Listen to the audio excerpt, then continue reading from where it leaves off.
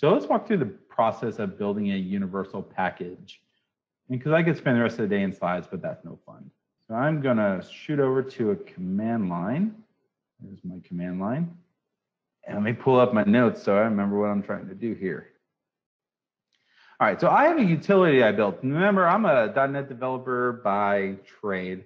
So I have a utility in here that I call current time. And what does current time do?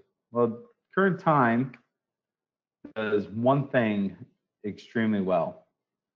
It tells you what the current time is.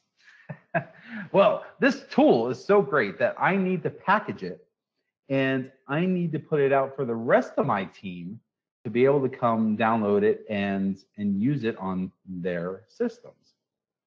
And this code is available on my GitHub page, so if you absolutely must have the code for current time, uh, you could go grab it. but I want to take this code, I want to build it, and I want to package it using UPack.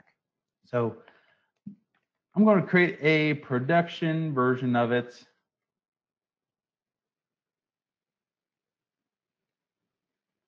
And if you're not a .NET person, that's okay. This is just the, the process of making sure that I have something that's release ready. I'm going to go into Explorer and dive into it.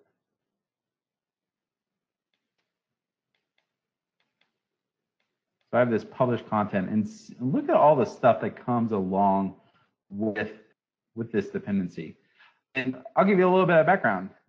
Because I'm preparing this utility to work anywhere, uh, or really, we use a system called .NET Core. .NET Core, we create self-contained executables, or which means every dependency that my application might possibly need comes along for the ride.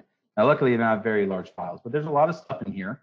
And if I needed a person to to try to install this on their system, there, there's a lot of credit in here that they would have to move over. So let's take my published version, and I'm going to move up a couple directories. I'm going to create a new folder. We'll call this uh, UPack demo. I'm going to copy all my binaries inside of it. And I'm also going to copy the UPack JSON file.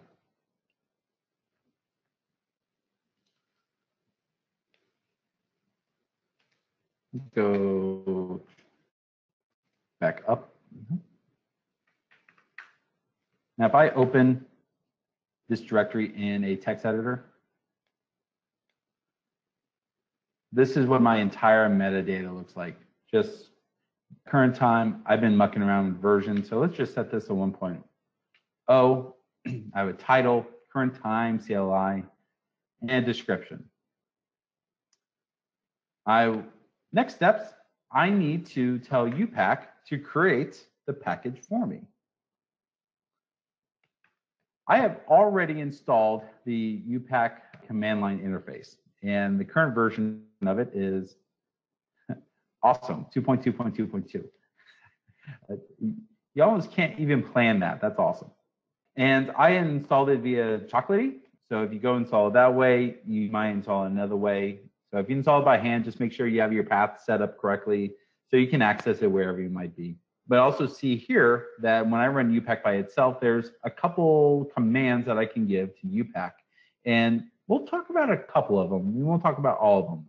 The one I'm particularly interested in right now is because I want to create a package or a universal package for, so I'm going to say UPack. I want to pack the published directory and I want to set my manifest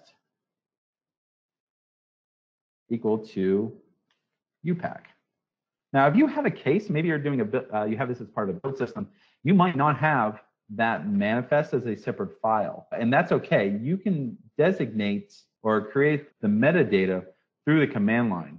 I'll show you how here in a moment when we're done with our walkthrough. I'm going to grab that manifest. It's going to uh, read the data that I intended, and it's going to inside of the published directory, and it will create the package on my behalf. So, all right, so, all right, I'm turning off my webcam to help with bandwidth. Now we look at what's in our current directory. I now have a new file, current time dash 1.0.0 .upack.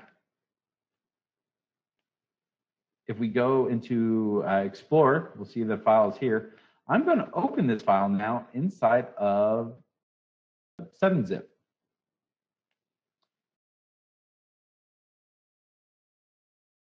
So there's the UPack JSON. This is, let's go through and edit. You'll see it's almost identical to what I had created before.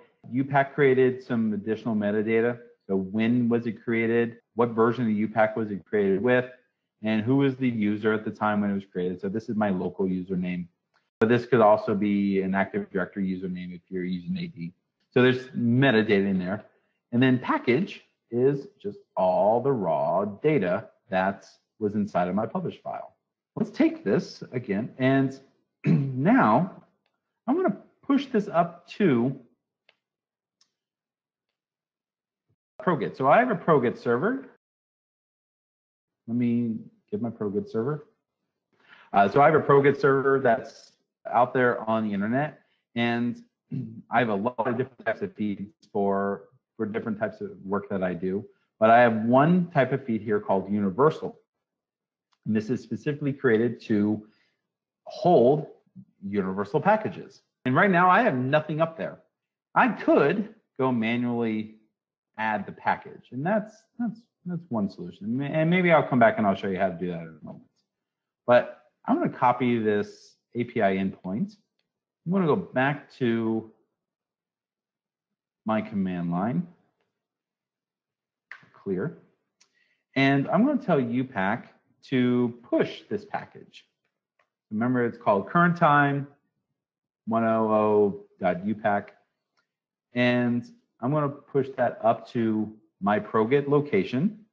This by itself will fail because my ProGet needs credentials. Now, don't give my credentials away, but my credentials are demo, demo, demo, demo. And that username is good for the next hour. So I'm going to tell UPack where to push it, who to push it as, and it's going to go through.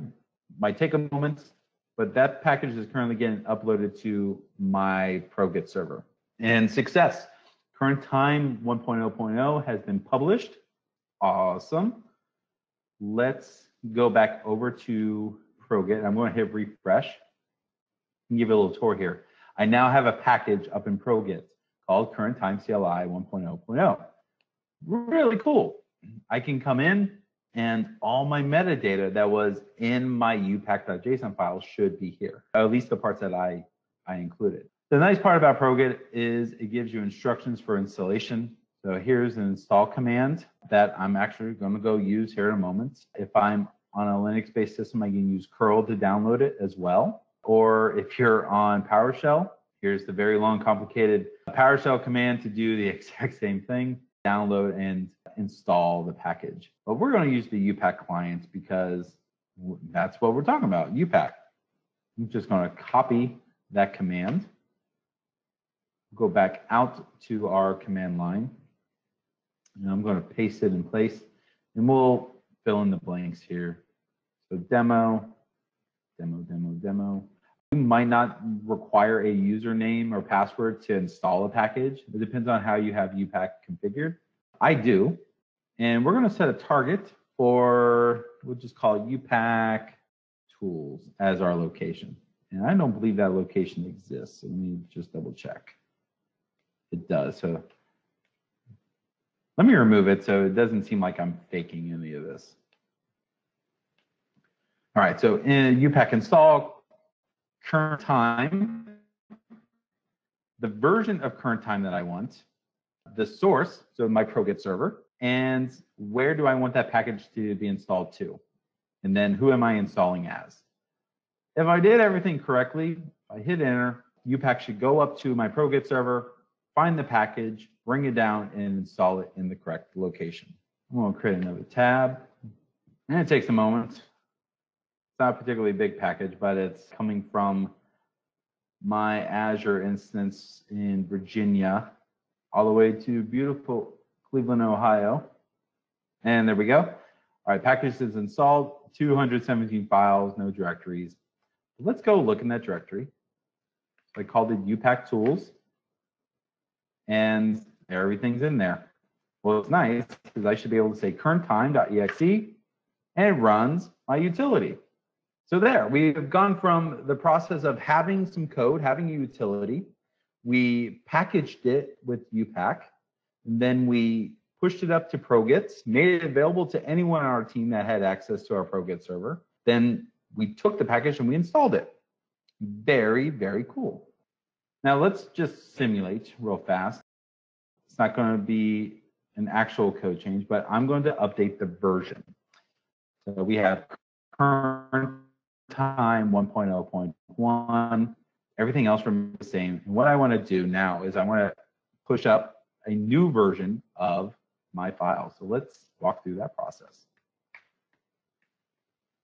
If I go back to my original command, which was upack pack publish using the manifest, upack is saying that it's a new version. It's going to create a new instance of the package, which we can look at our file list and see. I still have the original 1.0, and I have a 1.01.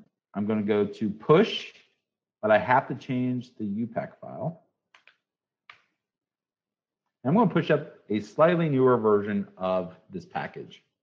And again, just takes a moment. You weren't going across the internet to push up packages, it would probably be a little bit quicker. All right, current time 1.0.1 has been published. Let's switch back over to ProGet. Now, if I come in here and refresh, it's still going to show me 1.0.0. That's because it's the version I'm currently looking at in the URL let me remove the version and we'll see that the new version is 1.0.1. So then I can see how many versions of current time currently exist. There's the current version 1.0.1. But I can also go back to the older versions if I needed to. 1.0. So everything's here that I need. And then I could technically, so let me remember the command. Let's come over here. I can come back and I can install the new version as well. But I want to talk about the commands that I used in a little bit more depth. There's the upack pack commands that I use to create a new package. And remember what I said before that if you don't have the manifest or the upack.json file, you can put all that information at the command line.